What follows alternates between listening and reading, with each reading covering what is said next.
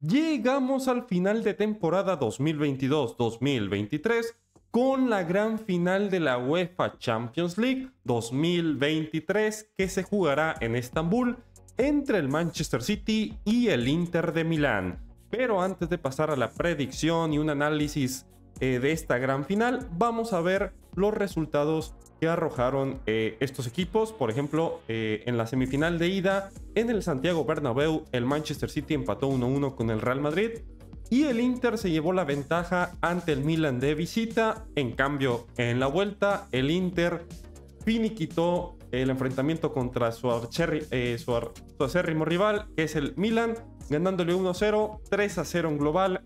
el Milan ni las manos metió. Esperaba más del Milan, ¿eh?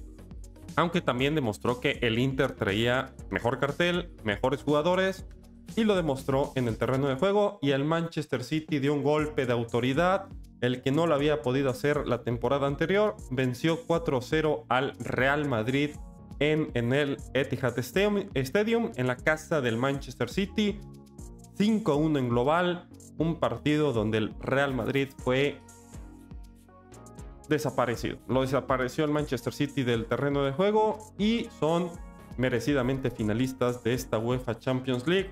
Recordemos que el Manchester City consiguió ya la liga y la FA Cup. Consiguió la Premier, remontó al Arsenal y en la FA Cup venció al Manchester United. Y en cambio el Inter de Milán consiguió la Copa de Italia. Si no me equivoco también la Supercopa y quedó entre los primeros cuatro puestos de la Serie A. También temporadas muy parecidas. Lo único es que el Inter no ganó la Serie A ni fue sublíder, pero aún así en los, puestos más altos y ganando títulos a nivel local. ¿Cómo veo que vaya a estar esta final? Ah, es muy complicado, ¿eh? Todos le están dando al Manchester City, al Manchester City, al Manchester City. Y, yo también me voy con el City, pero son partidos de 90 minutos. Si sabes manejar muy bien el tiempo, si sabes alargar el partido, creo que pueden cambiar muchas cosas. Así se vivía la final entre Chelsea y Manchester City.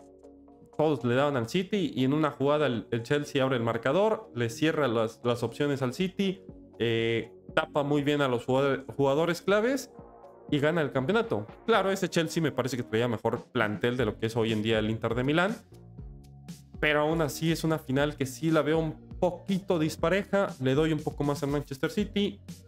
Tiene mejores jugadores. Eso sí, ¿eh? Haaland se fue apagando este cierre de temporada, consiguió el récord en Premier y lo que sea, pero se fue apagando. No apareció en Copa, no apareció tampoco, si no me equivoco, contra el Real Madrid.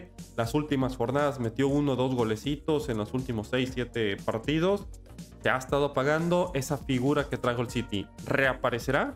¿Aparecerá en este momento tan importante del Manchester City? ¿Por fin culminará este trabajo de Pep Guardiola y los millones de dólares que invirtieron en el cuadro blue? Otra vez o otra vez pasará la tragedia y el Manchester City se quedará a la orilla. A la orilla. Recordemos, el City tiene la oportunidad de ganar su primer y único triplete eh, de temporada, liga, copa y eh, Champions League. ¿Lo va a hacer? Yo creo que sí. Va a ser un partido cerrado. El, Inter no creo que, que cambie su, postura. 3-5-2. Arriba falta ver quién va a estar acompañando a Lautaro. Si Edson, eh, Edinson Seco o este Romelu Lukaku. Cualquiera de los dos lo hace muy bien. Eh, esperemos que esté Varela, Brozovic, eh. No sé, va, va, a ser un partido muy cerrado. El Inter no tiene tanto cambio como sí lo va a tener al City, pero creo que tiene un 11 que lo puede ayudar al menos a llegar hasta tiempos extra. Yo, yo sí veo ganando al City va a ser por uno o dos goles, a menos que el Inter ya al final se abra completamente buscando la victoria, el empate, y el City se aproveche de, esos espacios, porque yo creo que va a ser lo primordial que va, a buscar el, el, el Inter, tener muy bien marcada esa línea de 5.